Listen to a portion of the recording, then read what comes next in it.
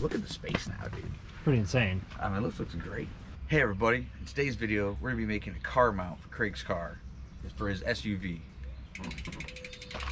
As you can see, he has to lay the bike down on his side to be in here. And if I ride with him, we actually put a towel over the one top and lay my bike on top. So today, we're gonna be making a mount that goes across the bottom to be able to stand both bikes up without the front wheels on.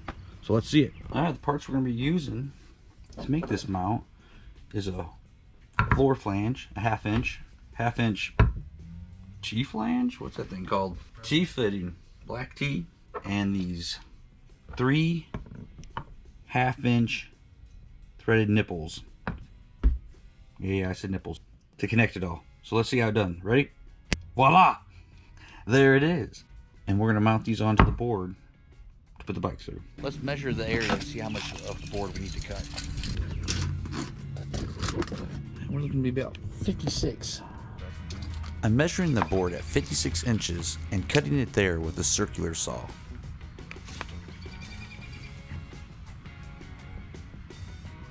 All right, folks. Always remember to put on your safety goggles.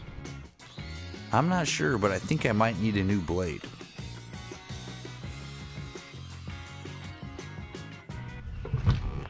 Still got on my fingers. Let's go see if this thing fits. Next, we are positioning the board in the SUV. All right, let's put the bikes on there and see where they need to be located.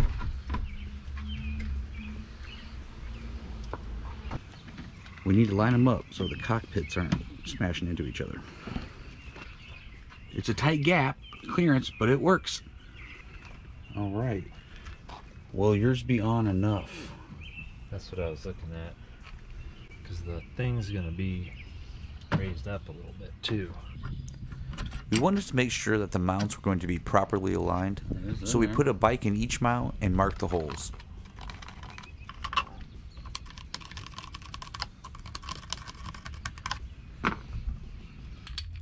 Now we need to assemble the second mount and fasten each one to the board.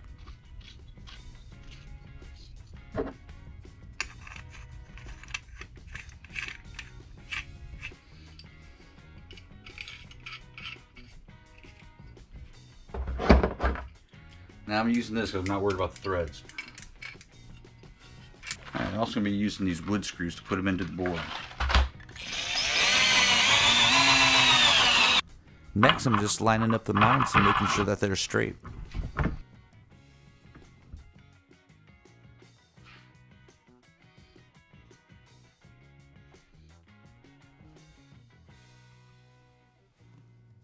Now we're going to try to use this shrink wrap to go ahead and cover the threads here just to give it a little bit more padding when it's up against the fork and sliding it in and out.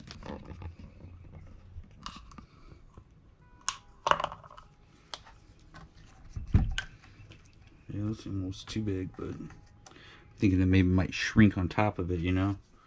You might think that this is my wife's hair dryer, but it's actually mine for this beard of mine. Doesn't seem to be shrinking it. Hair dryer didn't work. Let's try this torch.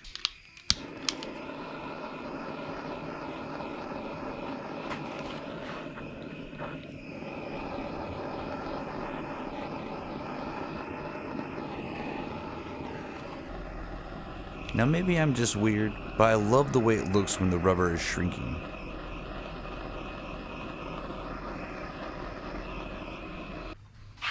Here I wanted to make sure that the maxle would still fit through after the shrink wrap was applied.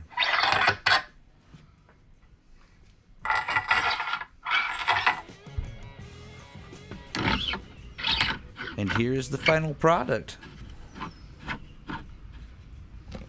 So what do y'all think? They seem to work pretty well. I'm not sure how much it costs. Like, I think less than twenty dollars for everything. I think they were like each nipple was I don't know. I'll put the prices up there. This new mount's gonna be awesome loading up the bikes now. We won't look like such fools laying on our bikes on top of each other and looking super unprofessional, like we don't know what we're doing. And it's actually a lot quicker to load these up with it like this. There's plenty of room now to put our gear on the sides, coolers in the middle, and we can really pack this thing compared to having it all laying on top of each other now. So yeah, I appreciate you watching the video, seeing how we made these mounts. And if you enjoyed it, please hit the like button. And if you want to see some other trail videos and more mountain bike related videos, think about hitting the subscribe. I'd really appreciate it. All right, I'll see you next time.